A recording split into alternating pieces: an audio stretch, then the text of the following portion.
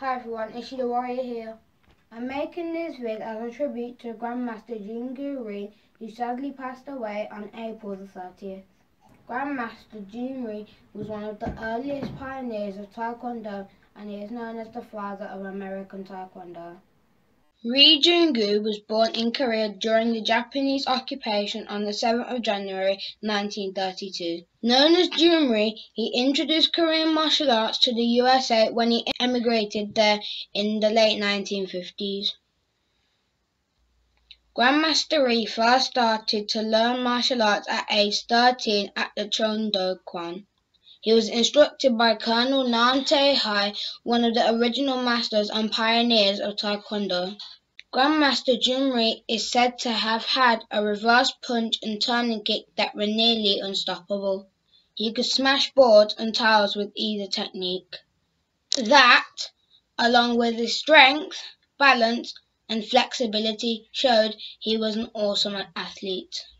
However, it wasn't always that way. Grandmaster Rhee himself said he was the smallest, weakest, and most uncoordinated kid in school. But of course, all that changed. By 1957, Grandmaster Rhee moved to America and first settled in San Antonio, where he opened a martial arts school. At the time, he called his style Korean Karate. This was because Americans were familiar with karate, but virtually no one had heard of taekwondo at that time. In 1960, General Choi Hong Kai visited Grandmaster Rhee in America and convinced him to call his style taekwondo. They both agreed that calling it taekwondo gave a sense of freedom and independence, as well as respect for the Korean homeland. This meant that Grandmaster Rhee was officially the first Taekwondo instructor in the USA. In 1962, Grandmaster Rhee moved to Washington, D.C., and for a brief period worked as an assistant in a karate school, but later went on to open his own schools in Washington, D.C.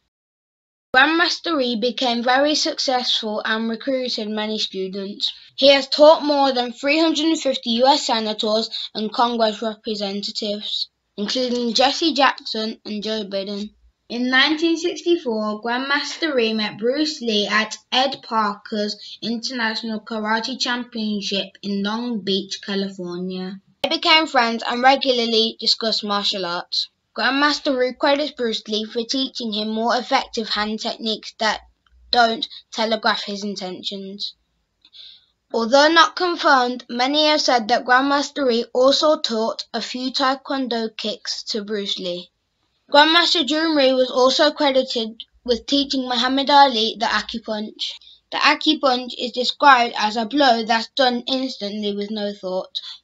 Muhammad Ali said he used the punch in 1975 to knock out UK heavyweight champ Richard Dunn in under two minutes. In the 1973 Raymond Chow film When Taekwondo Strikes, set during the Japanese occupation of Korea, Grandmaster Rhee had a lead role. Grandmaster Rhee demonstrated his Taekwondo skills on the big screen while portraying a leader of the resistance. Grandmaster Rhee created and developed martial arts ballet, which is martial arts movement in time with music. He actually incorporated martial arts ballet into the syllabus he developed for his schools. Grandmaster Rhee is also said to be the creator of foam safety equipment that is still widely used for sparring in various martial arts. On January 9, 1991, Grandmaster Jhoon Rhee began 11 days of seminars in Moscow.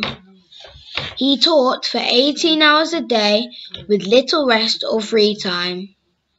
On the final day he sat down with 87 martial artists and conducted a 15-hour question and answer session in which he answered all questions.